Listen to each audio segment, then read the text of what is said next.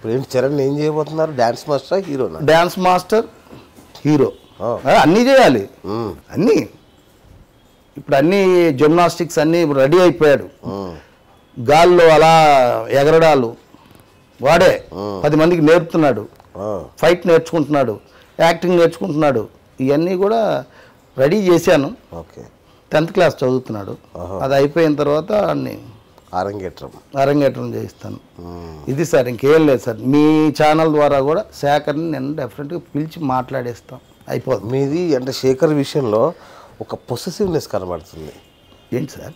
అంటే మరీ పొసెసివ్గా ఫీల్ అవుతున్నారా శేఖర్ మాస్టర్ విషయంలో? ఏం లేదు సార్. నేను ఇప్పుడు అంటే నాకు ఎందుకంటే ఏమనిపిస్తుంది అంటే మీరు ఇప్పుడు ఇట్లా అడుగుతుంటే శేఖర్ మాస్టర్గా చిచ్చి ఇక నేను నా వల్ల కాదు నేను రాను పో. ఆ, ఇక ఆయన దగ్గర నేను రాను అని అన్నాడు అనుకోండి. వాడు కర్మ.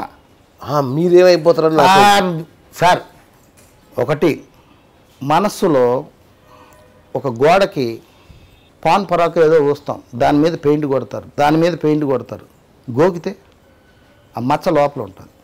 వాడు రాకపోతే వాడి కర్మే అది లోపల ఉంటుంది. దానికి నేనేం చచ్చిపోయేది ఏం లేదు. అదేంటది? యూట్యూబ్లో ఇంకా అడగకుండా. మీ ఫీలింగ్ చూస్తే భయం వేస్తుంది నాకు మా శేఖర్ ఎక్కడ నేను ఒకటి. గర్ల్ ఫ్రెండ్ బాయ్ ఫ్రెండ్ లా ఉంది స్టోరీ ఇప్పుడు వాడు సొంత తమ్ముళ్ళలాగా బిడ్డలాగానే ఉన్నాడు.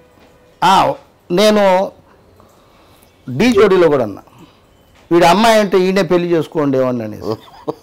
అంటే అది ఆ అర్థమైంది అంతే ఇప్పుడు శేఖర్ రాను వాడి కర్మ అంటే నేను. అంటే శేఖర్ రానడానికి నాకు రీజన్ చెప్తాను. అమ్మ నక్కని తిట్టాడు మా అమ్మని తిట్టాడు ఒక్కసారి కాదు మూడు సార్లు తిట్టాడు మా ఆవిడని తిట్టాడు ఇంతమందిని తాగి ఫోన్లో ఫోన్ పొరపాటు. వాళ్ళ భార్య గారిని అమ్మ అమ్మ అనే పిలుస్తాను నేను. అమ్మ క్షమించు ఆ రోజు మీకు చెప్పాలా నేను ఇది?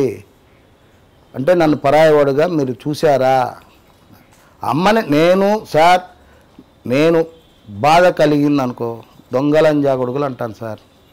అంతేగాని నేను వాళ్ళ ఇంట్లో పెద్ద కొడుకుగానే ఉన్నాను కదా సార్. కానీ ఆ తల్లికి తెలియాలిలే కానీ. ఇప్పుడు నేను నేను ఒకటే అనేది తిట్టాడు కదా ఎందుకు తిట్టాడు? ఎందుకు తిట్టాల్సి వచ్చింది? ఉంటుంది కదా? నా నా కోసం తిట్టుకునేవాడిని అనుకో అది వేరే సార్. జరిగిపోతుంది జాగ్రత్త అనేది. అది ఏదున్నా వాడికి పెళ్ళి చూపులు నేనే వెళ్ళాను. శేఖర్ మంచోడు హనుమాన్ జంక్షన్కి ముక్కురాజు మాస్టర్ని తీసుకొని వెళ్ళాను నేను. ఎంత ప్రేమ లేకపోతే సార్. సార్ ఒక మాట చెప్తున్నా నేను. శేఖర్ని ఇక్కడ నుండి తీసుకెళ్ళిపోవడానికి? ఇప్పుడు మళ్ళీ నేను కాంట్రవర్సీ చేయడానికి కాదు సార్ యూట్యూబ్లో? ప్లీజ్. ఫైనల్ వదిలేస్తున్నాను కదా ఇది. చెప్పండి. శేఖర్ని ఇక్కడ నుంచి నేను పద్మాలయకి తీసుకెళ్ళి నైట్ షూటింగ్ జరుగుతుంది. పవన్ కళ్యాణ్ది బద్రి. ఐఎంఏ ఇండియన్ ఓకే అమ్మ వచ్చింది. పొద్దున వాడొచ్చి నేను శ్యామసరామయ్య ఇద్దరం కూర్చొని మాట్లాడుతున్నాం ఇన్స్టిట్యూట్లో. బియ్యం ఇసిరిసిరేసేసింది. నా కొడుకుని నాశనం చేశావు మందు పెట్టేశావు. అమ్మ శేఖరమ్మ. మరి నా తల్లిదండ్రులు ఎంత బాధపడాలి? శేఖర్ నాకు మందు పెట్టాడని వాళ్ళు అడుగుతారు కదా. అంటే ఆ బియ్యాన్ని ఇసిరేసేసడేమో మొత్తం నెత్తిన పోసేసుకుంది. వైజాగ్లో శేఖర్ నానమ్మ ఉంది. ఓకే. ఆమెకు ఒక ఇల్లు ఉంది. ఆ ఇల్లు శేఖర్కి ఇస్తా. నా దగ్గర పెట్టండి. వీడేమో మాస్టర్ని వదిలి నేను రాను.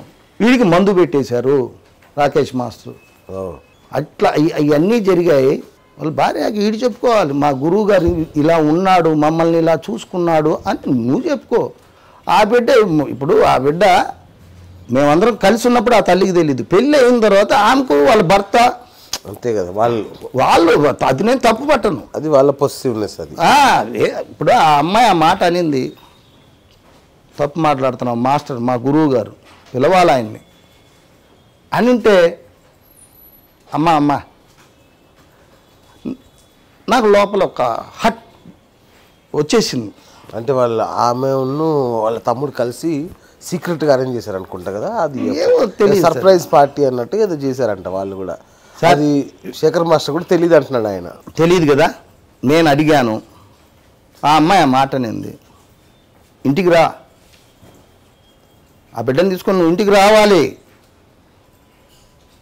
పెద్దవాడిని కదా పెద్ద దిక్కు కదా వచ్చి ఏంటి? గురువుగారు నువ్వు అలా అనొద్దు. ఆయన అడిగాడు ఏమ్మా నేను ఆ అమ్మాయిని తిట్టలే సార్. ఏమ్మా కనీసం ఉన్నానా లేదా అని కూడా తెలియదు బిడ్డ బర్త్డే. నేనేమనుకున్నానంటే సా- అయ్యో మాస్టర్ గారు నేను చెప్పలే. నా మేనేజర్ని అడిగా ఏడున్నావా? అన్న. శేఖర్ వాడెక్కడా? అన్న. చైతన్య అనే అనే అబ్బాయిని మా ఇంటికి పిలిచాను. డాడీ వస్తున్నాను మాట్లాడాలంటే రా భోజ చేయి ముందు అన్న. శేఖరన్ వాళ్ళ ఇన్స్టిట్యూట్లో తినొచ్చాను అన్నాడు. ఏంది అన్న? బర్త్డే కదా అన్నాడు. ఎలా ఉంటుంది సార్? ఇక్కడ యుగోస్ వచ్చాయి సార్. వాడు వాడు మంచి కోసమే నేను పోరాడాను సార్. బర్స్ట్ అయింది మాత్రం వాస్తవం వాస్తవం అంటే వాళ్ళ భార్య అని తిట్టలేదు నేను దొంగలంజా కొడుకులు. మారిపోయారా నా కొడకలారా? అన్నది అంతే. వాళ్ళ అమ్మ కోసం నేను ఇట్లా వాళ్ళ అమ్మ ఇప్పుడు నాకు అమ్మే కదా. ఎందుకు అది వచ్చింది? అది నేను ఇప్పను. ఓకే. అది శేఖర్ తెలుసు మీకు తెలుసు. మా ఇద్దరికి తెలుసు వాళ్ళ అమ్మకి తెలుసు వాళ్ళ భార్యకి తెలుసు. అచ్చా. అదొక్కటే జరిగింది. అది ఇప్పుడు సార్ నేను చెప్తున్నా వాడు ఎక్కడున్నా బాగుండాలి. వాడు రాకపోయినా బ్రహ్మాండంగా ఉన్నాడు. నేను అనేది బ్రహ్మాండంగా ఉన్నాడు. మనసు బ్రహ్మాండంగా ఉండాలి బాలేరు. నేనా? అంటే ఎట్లా బాగుండాలంటే ఎట్లా? అంటే మామూలుగా ఆర్థికంగా కానీ సామాజికంగా కానీ వర్క్ పరంగా కానీ మీరు అలా అస్తమిస్తున్న సూర్యుడిలాగా అతను అయ్యి అది తప్పు పట్టను నేను. నేను మీరు ఇంకా డీలో కొన్ని చూడండి. వాడు ఉదయించే సూర్యుడు నేను అస్తమించే సూర్యుడిని అన్న అనౌన్స్ చేశా. నేను బిజీగా ఉన్నప్పుడే. ఓకే. సార్ నా గురించి మీకు సరిగ్గా తెలియదు ఎవరు వీళ్ళు చెప్పుకోరు. నా డబ్బా నేను కొట్టుకుంటే బాగోదు కనుక మీ తిట్లే హైలైట్ అవుతాయి తప్ప. మీ తిట్లే హైలైట్ అవుతాయి తప్ప. నేను ఇప్పటికీ బాగున్నాను సార్. నేను పది మందికి విద్య నేర్పుతున్నాను సార్. వాళ్ళు పది రూపాయలు ఇస్తారు సార్ రోజుకి. నేను లక్ష రూపాయలు పెట్టినా వస్తారు సార్ నాదేం నేర్చుకోవడానికి. పది రూపాయలే ఓన్లీ కరెంటు బిల్లుకే తీసుకుంటున్నాను సార్. యాక్టింగ్ నేర్పుతాను సార్. డైరెక్షన్ నేర్పుతాను సార్. డబ్బింగ్ నేర్పుతాను సార్. డ్యాన్సులు నేర్పుతాను. ఇంకేం కావాలి?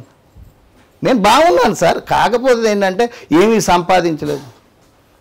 అది నేనేమైనా నెత్తిన పెట్టుకొని వెళ్తానా? నేను నెత్తిన పెట్టుకొని వెళ్ళేది ఏం లేదు లేదు సార్ మీరు ఈఎస్ఐ హాస్పిటల్లో మీరు పడ్డ బాధల గురించి చెప్పినప్పుడు నాకు అనిపించింది. ఉండి ఉండాల్సిందేనేమో నాలుగు డబ్బులు వెనకేసుకొని ఉంటే బాగుండేదేమో. సార్ ఇప్పుడు తిరుపతిలో ఇల్లు ఉన్నాను సార్. ఇంకొకటి సార్ మిమ్మల్ని అసలు ఆ టైం పరామర్శించడానికి ఎవరైనా వచ్చారా? ఎవరు రాలేదు సార్ నేనే చెప్పొద్దాను ఎవరు రాలే.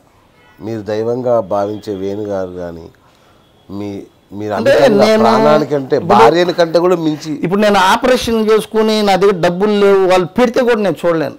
ఇది అన్యాయం సార్ ఇది. సార్ నేను ఒకటే. నేను చనిపోవాలనుకుంటే అదేదో అది ఎక్కడ దొరుకుతుందో కొని పెట్టుకోవాలనుకున్నా. నిజం. ఎవరు మోచేతి కింద నేను చచ్చిపోకూడదు. నా భార్యకు కూడా చెప్పేసాను పిల్లల్ని జాగ్రత్త. సూసైడ్ చేసుకోను. ఎప్పుడు చేసుకుంటానంటే అల్లో రామచంద్ర అని బాధ పడేటప్పుడు మాత్రం విత్ ఇన్ సెకండే చనిపోవడం పెద్ద సమస్య కాదు. కానీ ఎందుకు చనిపోవాలి? చూడు బ్రదర్ సినిమా వాడికి కష్టాలు విమర్శలు అవమానాలు ఆకలి బాధలు తప్పవు. ఇదేమి మనకు గవర్నమెంట్ ఉద్యోగం కాదు. ప్రతి నెల టైంకి జీతాలు అందుకోవడానికి. ఇది సినిమా రంగం. ప్రతి క్షణం ప్రతి నిమిషం ప్రతిరోజు నిద్రాహారాలు మాని అహర్నిశలు కృషి చేసినా కానీ ఒక్క రూపాయి కూడా నీ చేతికి అందని రోజులు ఇవి. అలాంటిది నిన్నగాక మొన్నొచ్చిన నువ్వు నాకు అవకాశాలే రాలేదని ఎవడు నన్ను గుర్తించలేదని తెచ్చుకున్న డబ్బులు అయిపోయాయని ఎవడో ఏదో అన్నాడని నీలో నువ్వు అవమానంతో చనిపోవాలనుకోవడం కరెక్ట్ కాదు.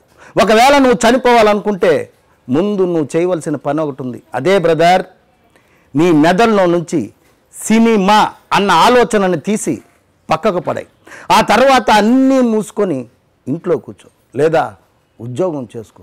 అంతేకాని పిరికివాడిలా ప్రాణాలు తీసుకోకు. అన్ని రంగాలలో రాణించినంత ఈజీ కాదు బ్రదర్. ఈ సినిమా రంగంలో రాణించడం. పైగా నీ జీవితం మొత్తాన్ని పనంగా పెట్టవలసి వస్తుంది. అయినా ఒక్కొక్కసారి అయిన వాళ్ళను కూడా నువ్వు వదులుకోవాల్సి వస్తుంది. నీ చుట్టూ చాలామంది స్నేహితులు స్నేహితురాలు ఉంటారు. కానీ ఒక్కరు కూడా నీకు సహాయం చేసే వాళ్ళు ఉండరు. ఒకవేళ నీకు సహాయం చేసేవాడు ఒక్కడున్నా వాడికి ఈ సినిమా బాధలు తప్పవు. వందల మందితో కలిసి పనిచేస్తున్నా ఎప్పుడు ఒంటరితనం ఎక్కిరిస్తూనే ఉంటుంది. నువ్వు ఇంకా ఒక గొప్ప కళాకారుడుగా గుర్తింపు పొందలేదని. సమయానికి ఆకలి వేయదు. ఆకలి వేసే సమయానికి తినాలనిపించదు. నిత్యం నీతో నువ్వు సంఘర్షణలు పడుతూనే ఉండాలి. అర్ధరాత్రి దాటిన నిద్ర ఊసే ఉండదు నీ కంటికి. ఖాళీగానే కాలం గడిచిపోతున్నట్లే ఉంటుంది. కానీ క్షణం తీరుకున్నదు పైసా ఆదాయం ఉండదు నీ మనసు ప్రతిరోజు నరక యాతనలో అనుభవిస్తూనే ఉంటుంది. ఇలాంటి ఆటుపోటులకు నిలబడాలనుకునే వాడికి ఎంత ఓపిక ఉండాలి? ఎంత సహనం ఉండాలి? ఎంత గుండె ధైర్యం ఉండాలి. ఎవడో ఇవన్నీ తెలియని ఎదవా ఏదో తెలివి తక్కువ తనతో నిన్నేదో అనేశాడని సినిమానే వదిలేస్తావా? సినిమా ఆలోచనలు దాటి బ్రతకగలవా? ఇక్కడ బ్రతకాలంటే భయపడకూడదు. భయపడే వాడివైతే ఇక్కడికి రాకు. జై కళామ తల్లి. జై జై కళామ తల్లి. జై హింద్. ఓ. బా బా బా బా. ఇది సార్ నేను ఇది నేర్చుకున్న నగ్న సత్యాలు. ఇంత నేను నేర్చుకున్నప్పుడు నాకెందుకు సార్ భయం? డబ్బెందుకు సార్? బాగా చెప్పు నాకు అమ్మ పెడుతుంది సార్ కళామ తల్లి. ఇచ్చే పది రూపాయలతో చాలు సార్ నా జీవితం. ఇంతకీ మా ఛానల్ను సబ్స్క్రైబ్ చేసుకుంటారుగా? గంట కొట్టడం మాత్రం మర్చిపోవద్దు. ఇంతకీ మా ఛానల్ను సబ్స్క్రైబ్ చేసుకుంటారుగా? గంట కొట్టడం మాత్రం మర్చిపోవద్దు. హాయ్ అండి నేను మీ సంజన అన్నే. హాయ్ అండి నా పేరు Surender. Uh, this is Abhinav uh, Gomet. Hello guys this is Vinay Kuyya hi నేను మీ Sonakshi Varma. Hi this is Avantika This is Daystar Gopal. please uh, like, share, and subscribe to please subscribe it please subscribe to please subscribe to like share and subscribe to top Telugu TV Top Telugu TV. Top Telugu TV top Telugu TV top Telugu TV